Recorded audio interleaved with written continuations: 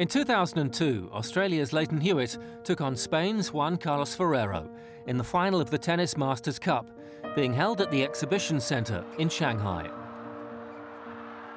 Both men had formidable seasons that year, capturing an ATP Masters Series crown each.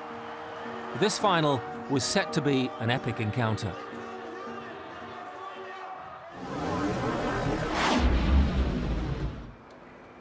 By reaching the final, Hewitt was guaranteed to be year-end number one. But the dogged Aussie wanted more, and he came flying out of the blocks.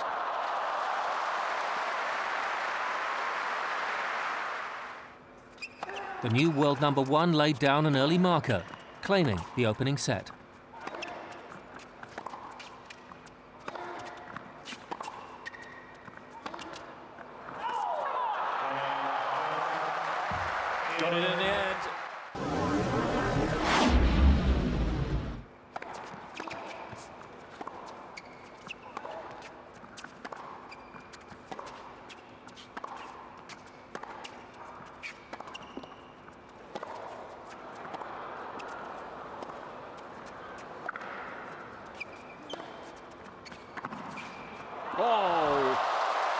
Once again, forehand down the line at full stretch, smack on the line.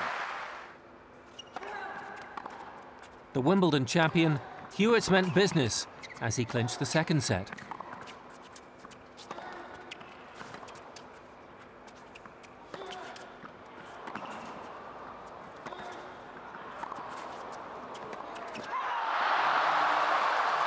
Hewitt's got it.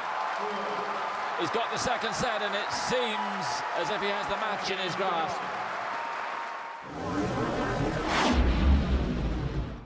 Ferrero had already found success in this part of the world.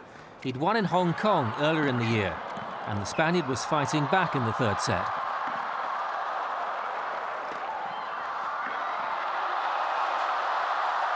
Oh, well, he didn't need to play it, but the crowd won't mind. The Spanish number one raced away with the third set, taking it 6-2. Now Hewitt was uh, over in this set about 10 minutes ago.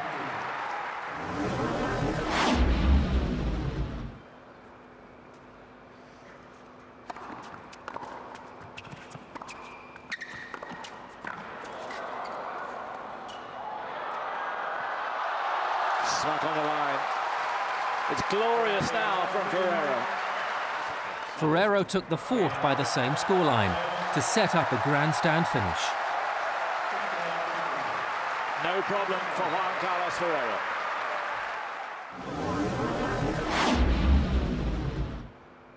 Hewitt had not claimed a title since his historic victory at Wimbledon, and the Aussie seemed unperturbed by losing his two-set lead as he went about regaining his composure. Well played, Lleyton Hewitt. Lleyton Hewitt's win came in dramatic style.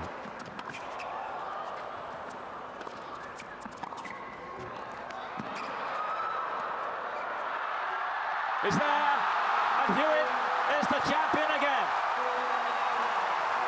With his second victory in a row at the year-end finals, the two-time Grand Slam champion cemented his place as one of the greats of the competition.